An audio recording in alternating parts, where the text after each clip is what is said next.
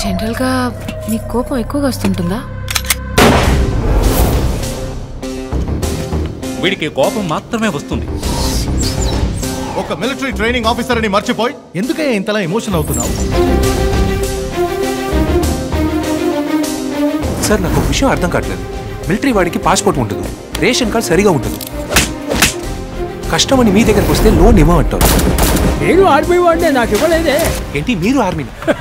Old army. రాజకీయ నాయకుల నుంచి రౌడీ షీట్ల వరకు లంచం అవినీతి సెటిల్మెంట్లే. కోప్పడకుండా ఎలా ఉండగలం చెప్పండి? ఇలాంటి పబ్లిక్ వైలెన్స్లో ఇన్వాల్వ్ అయ్యే వాళ్ళని కనీసం ఆరు నెలలు జైల్లో పెడుతుంది. ఇంతకుముందు జరిగిన యుద్ధాలన్నీ వెపన్ వార్. ఆ తర్వాత బయో వార్. ఇప్పుడు cyber war.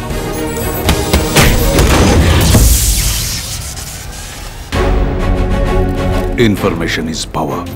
డేటాని సరిగ్గా యూజ్ చేయడం తెలిసిన వాడికి అది ఇన్ఫర్మేషన్ మాత్రమే కాదు ఆయుధం. ఆధార్ కార్డ్.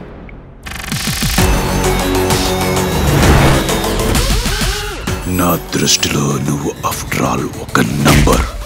నంబర్గా ఉన్నంత వరకు నీకు ఏ ప్రాబ్లం లేదు. మనిషిగా మారాలనుకున్నావో.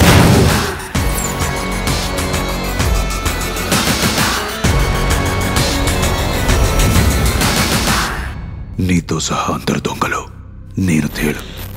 నేను కుడితే మూసుకొనుండాలి